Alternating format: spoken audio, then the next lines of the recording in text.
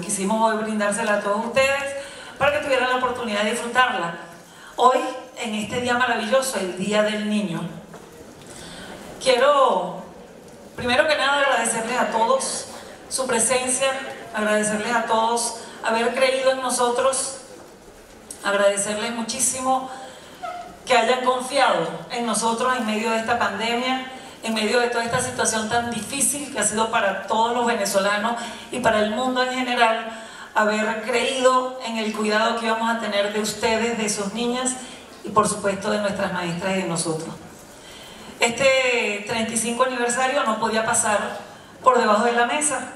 El año pasado, por razones obvias, tuvimos que dejar pasar la función, pero este año no lo íbamos a permitir. Por eso quisimos preparar para ustedes esta función maravillosa. La primera parte que vamos a ver a continuación ha sido un trabajo fabuloso que se ha preparado durante estos meses con las muchachas del grupo avanzado, de la mano de nuestra queridísima profesora, la licenciada Adriana Palacio. Creo que por esto vamos a darle un fuerte aplauso a la profesora Elena Lo hemos llamado gala de solistas, porque cada una de ellas es una solista. Quisimos inicialmente comenzar como programa de estudio los grandes ballets de la historia de la danza clásica y fuimos seleccionando todas y cada una de estas variaciones para que ellas fueran estudiando y al final decidimos seleccionar una para cada una de ellas. Lo hicimos de forma cronológica y todos ustedes tienen en su poder el programa de mano digital y allí dice en qué año se estrenó cada una de estas obras. Entonces, todo esto forma parte de la formación de un bailarín. Vamos a comenzar en este momento con el padre de campesino del ballet Giselle. Una mamá me dijo el día que fue a buscar el vestuario, profe, ¿y a qué hora bailan las de nosotros? Después nos podemos ir. Y yo le dije que no, que primero bailan las grandes y que me parece maravilloso poder colaborar con el acervo cultural de todos ustedes. Porque estas oportunidades no se tienen siempre en la vida. Y cuando tiene uno, una niñita estudiando ballet, pues hay que ver también el esfuerzo porque las suyas tienen uno, dos y tres años estudiando ballet. Estas muchachas tienen 10, 12 y 14 años estudiando ballet.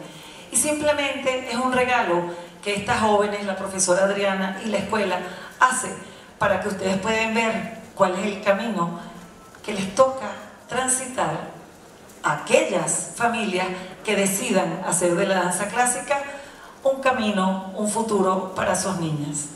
Entonces, Estoy segurísima que van a disfrutar muchísimo de este trabajo maravilloso que hacen nuestras niñas. Y los papás de ellas también están aquí y quieren que ustedes las disfruten y les aplauden.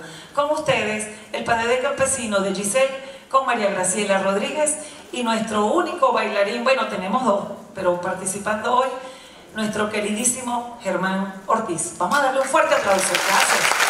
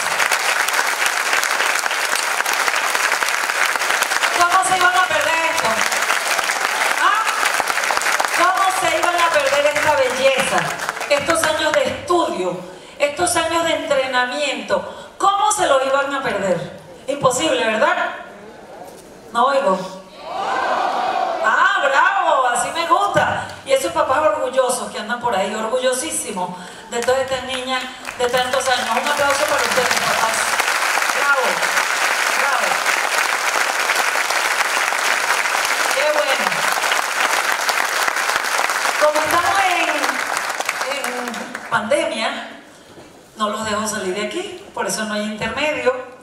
Así que ya estamos preparados atrás para comenzar nuestra producción infantil. Les quería comentar mientras cambiamos de escenario, de escenografía y se preparan nuestras más chirriquiticas, que aquí tuvimos 100 años de historia del ballet clásico. La primera producción del ballet Giselle, según tienen ustedes ahí en sus programas de mano, se presentó, se estrenó por primera vez en el año 1848. Y la última producción, que fue la que interpretó nuestra queridísima profe Juliet Hidalgo, es una reciente producción del año 1949. Quiero decir con esto que pasaron 10 años. En ello ustedes han visto la diferencia entre vestuarios, entre la música y, todo el temperamento de cada una de estas muchachas.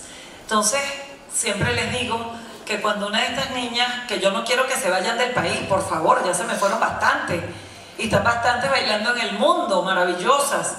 Yo no quiero que estas se me vayan, pero cualquiera de estas niñas que se vaya del país, cuando me dicen, profe, ¿me puede dar un certificado? Yo le digo, sí, baile. Ese es el mejor certificado. El papel aguanta todo. Lo que no aguanta es pararse en un escenario y bailar, hacer lo que estas niñas hicieron. Entonces, ese es el mejor certificado. Pero para llegar aquí, son años de estudio, de preparación, de formación, de entrenamiento, de sacrificio mucho sacrificio, donde al ballet no se falta por ir a una piñata. No se falta por ir a una piñata. Uno va al ballet y después se va para la piñata. Después. Yo siempre cuento con mucha alegría algo que quizás es motivo de tristeza. Y fue que el, día de que nuestra escuela cumplió 30 años, a mi mamá se le ocurrió fallecer dos días antes. No me preguntó, me hubiera preguntado y yo le hubiera dicho, mami, déjalo para pasado mañana. Pero bueno, lamentablemente no me preguntó. Y el día que estábamos aquí, en este teatro, en este escenario, para hacer nuestra función del 30 aniversario de la escuela, yo estaba en Caracas, en Cementerio del Este, dándole la despedida a mi mamá con mi papá y mis hermanos. El entierro fue a las 3 de la tarde. Y cuando terminamos de sepultar a mi mamá, yo le dije a mi papá, con 85 años, le dije, papi, tú sabes que a las 5 es la función en Valencia. Y mi papá, que tenía muchos años acostumbrado a la maravillosa disciplina del ballet, de que al ballet no se falta por ir a una piñata, de que al ballet no se falta porque es mi cumpleaños, se celebra en el ballet el cumpleaños. ¿Saben lo que me dijo mi papá? Con 65 años casado con su única novia que fue mi mamá. Me dijo, corre mi amor, no vayas a llegar tarde. Corrí y llegué al Teatro Municipal de Valencia a las 6 de la tarde a ver mi función. Y estoy segura que mi mamá estaba aquí aplaudiendo que yo haya llegado y que haya cumplido como siempre me enseñó mi mamá a cumplir con el ballet. Así que a partir de ese día que yo hice eso, yo dije, no hay razón para faltar al ballet, no hay motivo para faltar al ballet. Solamente las niñas que no faltan al ballet se convierten en seres maravillosos, responsables, cumplidos y comprometidos en todos los aspectos de su vida. Por eso los invito a que nos ayuden a ayudarlos a ser de esos niñas maravillosos seres humanos y gente cumplida y responsable y comprometida con todas las cosas de la vida. Bueno, con este cuento muy privado, gracias. Los vamos a dejar con esta producción infantil que tuvimos que correr para hacerlo, pero estoy segurísima que les va a encantar. Entonces ahora sí, aplaudan con más fuerza, que ahora vienen sus niñitas a bailar.